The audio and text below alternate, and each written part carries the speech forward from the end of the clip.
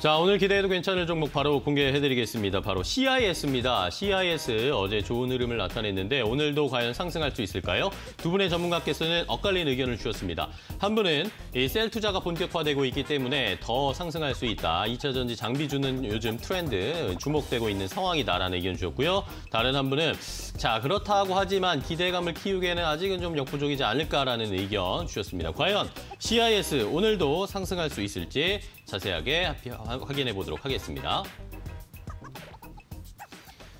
자, 오늘 기대해도 괜찮아는 두 분과 함께 하겠습니다. 레몬 리서치의 김민수 대표 그리고 한국투자증권 서초중앙 PB센터의 길건호 FC 나오셨습니다. 안녕하세요. 반갑습니다. 안녕하십니까. 길 FC님 우리 오랜만에 뵙습니다. 가을 남자가 되어서 돌아오셨고 우리 어, 김민수 대표님도 오늘 목폴라 멋집니다. 아, 가을 남자 스타일로. 추남이요? 네, 좋습니다. 어, 우리 된장색 니트를 입고 오신 우리 어, 김민수 대표님과 함께 어, 이야기를 나눠볼 텐데 CIS 확인해 보겠습니다. 어제도 사실 저희가 2차 전지 장비주와 관련된 이야기를 해드렸는데 요즘 역시 2차 전지 중에서도 이 장비주 쪽에 관심이 너무 많으신 것 같아요. 실제로 주가도 이렇게 반응을 하고 있고 CIS 어제 어떻게 왜 올랐는지 누- 먼저 어떤 분이 우리 어, 오랜만에 오신 이번에 오시께서 먼저 설명 좀 해주실까요? 네, 뭐 2차 전지 장비주이기도 하고요. 요즘에 이제 묶여 있는 것도 좀 많은 게 리비안 상장 얘기가 이제 11월 달에 한다 이런 네, 얘기들이 그렇죠. 굉장히 많이 나오고 있거든요. 그래서 조금 기대감도 있는 것 같고 그다음에 최근에 이제 테슬라에서 기존에 저희가 이제 배터리를 쓸 때 NCA라고 많이 들어보셨을 거예요. 음. 니켈, 코발트, 알루미늄 들어간. 근데 이게 사실은 조금 비싸거든요. 네, 근데 지금 이제 LFP라고 배터리를 조금 한번 다른 걸 써보겠다라고 얘기가 나오고 있어요. 근데 이게 네.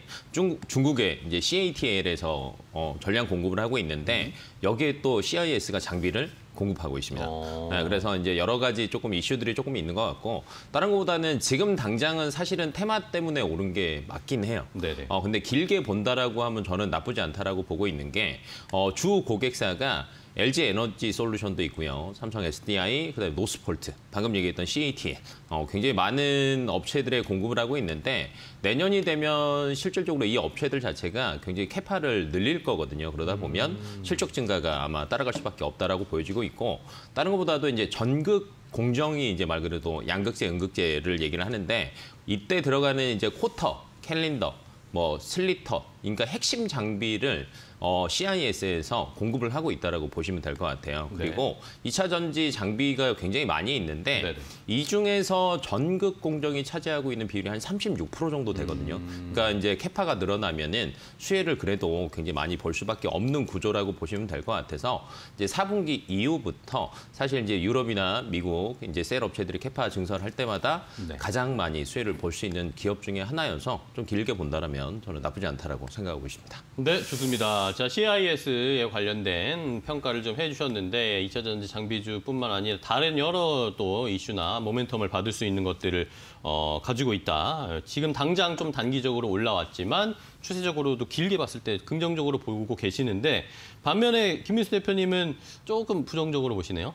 네, 어, 어제 테슬라가 쏘아 올린 공 음, 이게 실적. 네. 어, 예, 뭐 본인들 주가는 쭉 올리고, 네, 국내 예, 2차 전지주들은 또 고생하게 하는 뭐 이런 머스크가 늘 그렇습니다. 네. 네, 한쪽으로 너무 쏠리시네요, 네. 이분. 네. 근데 그런 변화가 나오긴 했어도 일단 어 지금 LFP라고 하는 리튬 인산철 이쪽을 계속 어 우리는 쓰겠다라고 하는 기사 내용들을 잘 보게 되면은 네네.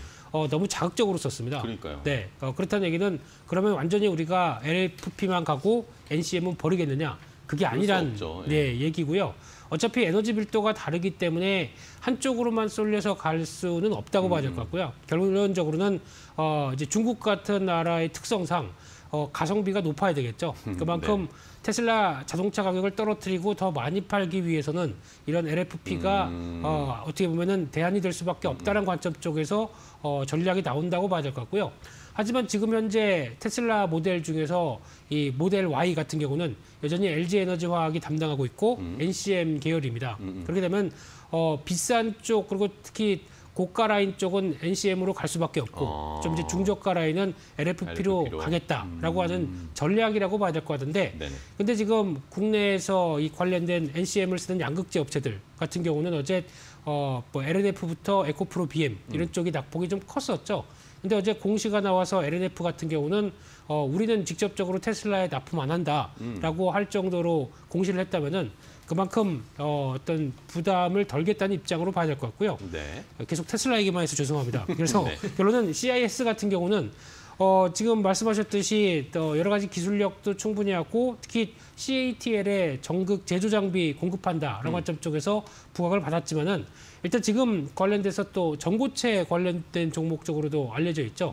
근데 전고체 개발은 앞으로 5년은 최소 5년입니다. 한 10년 가까이 가야 상용화 될 수 있다라고 하게 되면 모멘텀이 조금 떨어진다고 봐야 될 부분들이고요. 어. 그런 쪽에서 2분기 실적 상당히 양호하게 나왔는데 이 부분이 계속 유지가 되겠느냐. 그래서 앞서 연구원님 말씀처럼 추가적으로 이제 투자를 확대하는 쪽으로 간다라고 하게 되면 앞으로 공장 증설이나 설비 투자 쪽에서 계속 수혜를 받는 거는 맞는데 그렇다고 하더라도 NCM 관련된 쪽을 너무 무시하지 말자라는 쪽에서 어, 이쪽에 차익 매물이 나오는 정도로 해석해야 되지 않을까라고 바라보고 있습니다. 네, 좋습니다. 자, CIS에 대해서 두 분이 상반된 좀 평가를 내려주셨습니다. 과연 오늘도 CIS 상승할 수 있을지 어제 한 3%대 상승을 보여줬는데 오늘도 한번 주가의 흐름을 잘 지켜보 도록 하겠습니다.